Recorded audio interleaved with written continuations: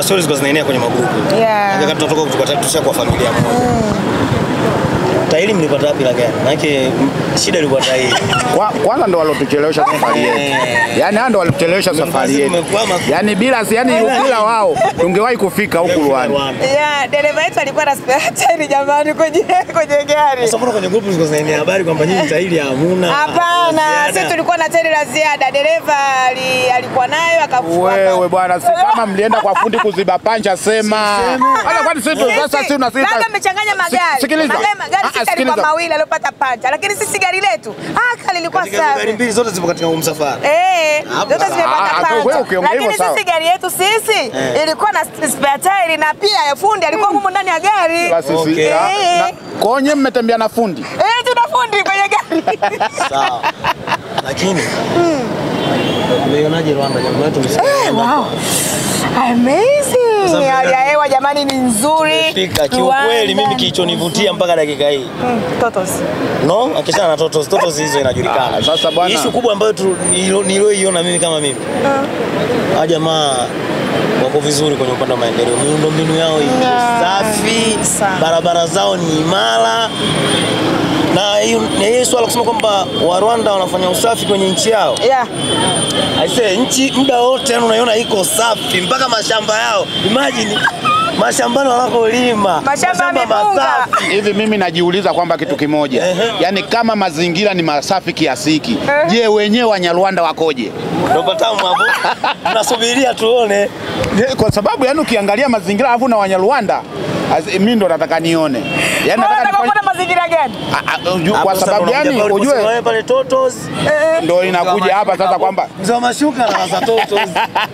Aso sio kwamba nawaza totozi. Totos. Sikiliza nikwambie, Eh. mimi nataka nione uzuri wao, niafananishe na mazingira yaliyopo. Ah, mazingira ya nje.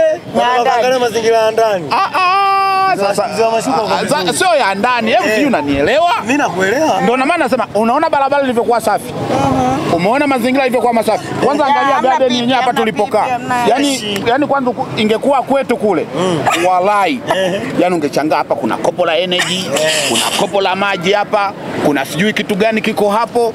Mara sijui gari la taka limepita. Sawa, lakini hata hivyo huko kwetu kwenyewe huko mbona sasa fresh? Unajua Ndio maana ile kwamba siku fulani tuna ule utaratibu tuliweka kila Jumamosi kuanzia mjafani mpaka saa 4 tu tunafanya usafi. Ila naona tu kama siku hizi speed imefanyaje? Imepungua. Ila kama ule utaratibu ungekuwa umeendelea na uhakika hata sisi Tanzania ndio maana nataka niseme, na ndio maana nakuwa nasema hivi, nataka niangalie mazingira ya wa, yani wahusika wenyewe wanaofanyaga usafi, je, wako vipi?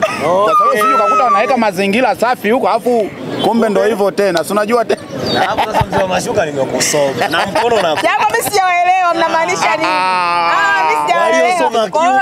Cuba washaelewa, tumeelewana Mimi lakini mnazungumzia kama hasa? Cuba, yani Cuba. tuishia hapo. Kwamba mnaangalia mazingira ya ndani na mazingira ya ila na kitu kingine na kitu kingine Yaani na kitu kingine nilichofurahi ni kitu kingine nilichofurahi kwa kweli, injinia yako tuheshimisha. Rais, rais, rais katuheshimisha. Wenyewe wabongo tunasema ameua, amemaliza mchezo. yani kwanza kwa yani, wa yani kwanza sasa hivi wana Yanga Afrika Yeah. inabidi tubadilishe katiba hiyo, inabidi tubadilishe katiba sasa hivi Yeah. yani si ile baada ya miaka minne kuna uchaguzi Yeah. yani si tuweke katiba yetu kwamba sio miaka kumi yani tuweke katiba kwamba rais milele mpaka atakapokuja kufa kwa rais wetu huyu eh? kwa rais wetu huyu hapo sawa. kwa sababu gani yani tulikuwa wakati tuko njiani tulikuwa tunawaza kwamba tiketi tutanunua vipi Ya, ni kweli changamoto pia? Yani, tunge, yani mpaka sasa hivi tungekuwa tushafika, tumeangalia mazingira hiyo na uwanja ndo tunasikia ndo huu hapa eh. Naona kwa sijaingia ndani, ila na imani kutakuwa kuna amazing. Kama nje kuko hivi, uwanjani kutakuwa kuko vipi? Ila mimi na yani kwamba ndio maana sio kwamba kwa sababu sasa hivi tungekuwa tunaanza kuanza kuhangaika tiketi zinauzwa wapi, tunanuaje tiketi haya. Kama una line ya huko, ina maana kwamba isingekuwa tungepata tabu sana. Omwe rais engineer Helis, yani kwa Amefanya la msingi kwa hiyo mimi nachoomba ni kitu kimoja, wananchi tuungane kwa pamoja. Kwanza cha kwanza, kabla ya kumuomba kumuomba kwamba aendelee, sisi wenyewe kwanza tujitambue.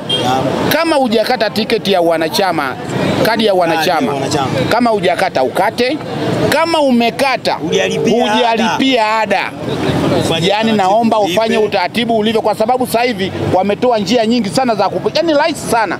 Ukiona kwamba ukiona kwamba kwamba kukwenda kwenye tawi ni kazi, una kikaunti chako benki, nenda tu pale benki. Bwana, katika kile kikaunti changu hem mkata elfu ishirini na tisa mimi nifanyeje? Nigee kadi ya wanachama ya Yanga.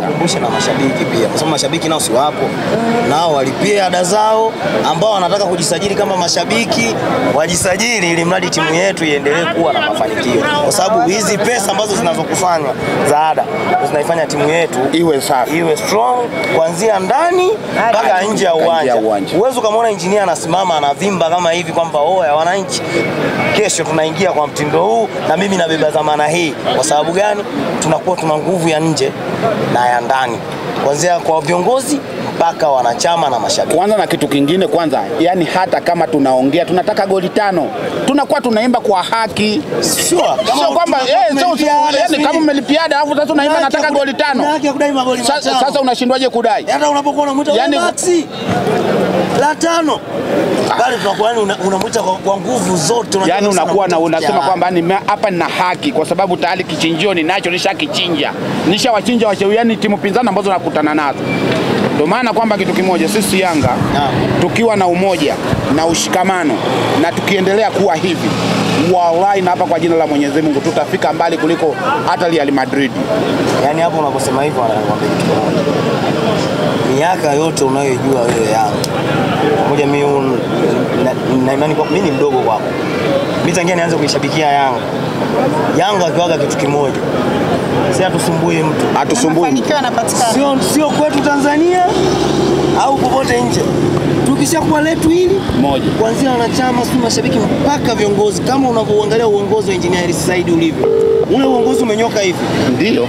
umenyoka kwa- kuanzia kwenye safu yenyewe ya uongozi mpaka ukija kwa watu wa chini mpaka kwa wazee wa klabu ambao mpaka leo bado wapo, wanapewa heshima yao kwa- kutoka kwa rais, wanapewa nafasi yao, wanazungumza naye.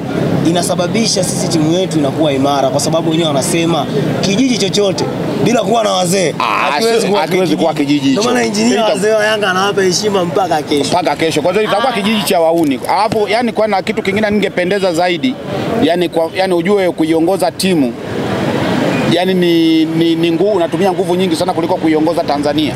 Asante. Yani kwamba ingekuwa yani, un, yani ningeomba yani kama inge, ingependeza yani aje atesti kugombea urais watu wa nani yani ma, mama atakapokuja kumaliza mwaka elfu saba- elfu mbili na thelathini yani akimaliza jaribu kuchukua fomu yani afanye kutesti tu, hebu ngoja nichukue fomu nijaribu. Sio kusema ajaribu. Yule pale ukitaka kujua kwamba sisi tuna kiongozi wa aina gani Eh. wale wenzetu wa upande wa pili wanakuambia yule jamaa afai, na yule jamaa akiendelea kuwa Yanga sisi tutateseka mpaka basi. Makolo, nawazungumzia makolo. Ah, Ah, nawazungumza, hapa na hapa na hapa. Eh, Eh,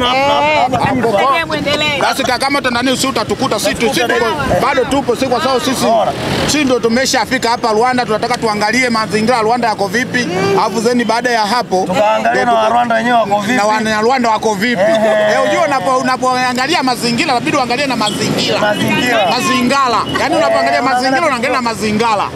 Alafu ndo kinakuwa kinanoga. Alafu kwa sababu gani? Yani elfu mbili na 2030 kama mama atakuwa anamaliza muda wake. no. yani, yani afanye tu kubipu yani kubipu kwamba jamani fulani kachukua kachukua fomu ya, ya urais Sasa yule akibipu na hiyo atampigia kwa sababu anakubalika.